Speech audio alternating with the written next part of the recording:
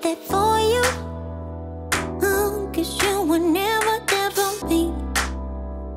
Mm, don't go Hey, ask me what you did wrong. Is the beauty. Ignorance will never see. No, Mother? meant for me. Can I just interrupt for one second, Mom? What was my first year at camp? I, I'm bad at small math. My name's Aaron Boroughs. The first time I ever was on a sleepaway camp was in 1994. I was eight years old, and the last time I was on uh, an actual sleepaway camp, I was, I want to say 22. Obviously, when you exist with something for that long, then you're predisposed to, to kind of embodying the essence of camp. My experience has changed over the years. However, what camp provides is, in my opinion, integral and crucial for humans in their own progression in everyday aspects of contemporary modern life. Let's say summer camp is associated with the summertime and vacation and the lack of responsibility. Camp for me was kind of uh, the 360 of, of everything. Whether I was eight years old, you know, climbing on the climbing wall, or I was 20 years old getting the, the eight-year-old all snug in their harness before climbing the wall. The feelings I felt were really similar. I think what's most important is the takeaway you get of self-exploration at camp. And I think that in itself has to be achieved before one can become a great leader. You have the freedom to explore who you are at an age when you're, all you want to do is like what these kids in the background are doing, like swan dive onto a blow-up dolphin 17 times in a row. When you take the parents away in a controlled environment as a kid, I was eight years old, and uh, and you don't remember a lot of things. I'm 31 now, and there's one thing I remember vividly when I was eight was homesickness. I think it was something that like I, I couldn't find, I had no socks anywhere, and they were all over the place. I was just like, what am I doing? And the idea of homesickness settled in there.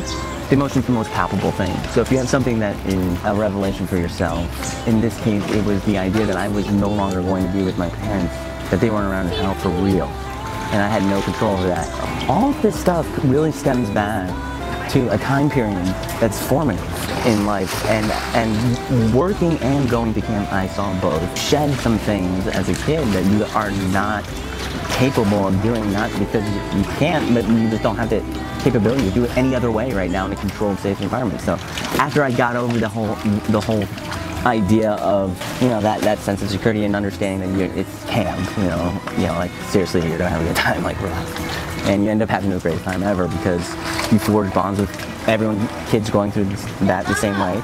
You're being led by our youth of America so to speak 19 and 20 early 20s and the idea is you know it, it is the off of the the curriculum. School so what you have is kids exploring who they are as a human and being provided with the encouragement and that builds a confident person. One basic sense is when you're at camp, you have the freedom to be silly because at camp you start doing things that are so absurd that they naturally affect the same parts of your brain that are adjacent to that that makes people scared of standing up in front of people and speaking or um, who they are, you know, insecurities. So what camp does is it allows kids to identify these things on their own. Maybe they're, they're not even cognizant of it or conscious, but it doesn't really matter because it's in a setting that is so empowering and so amazing that by the time the summers end, when I was eight, I was weeping because I didn't want to leave that same summer. You know, you cry at the beginning as a kid because you're there, and you cry at the end because you don't want to leave, you know?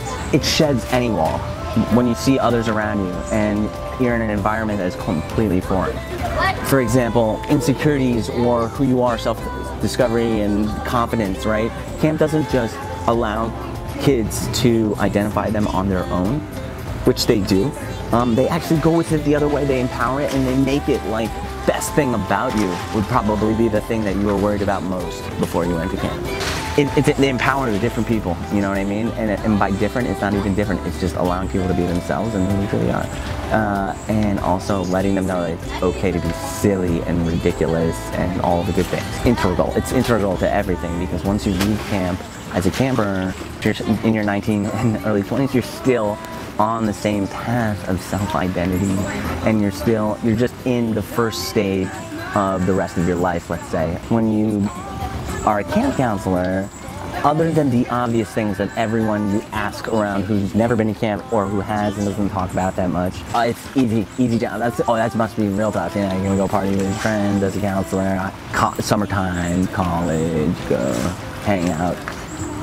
okay, yes, obviously all the fun things exist, but for those viewers out there, please live your life, have fun too, and don't worry if sometimes that comes with you know, vocational and intellectual benefit. One of my counselors, she was becoming a teacher.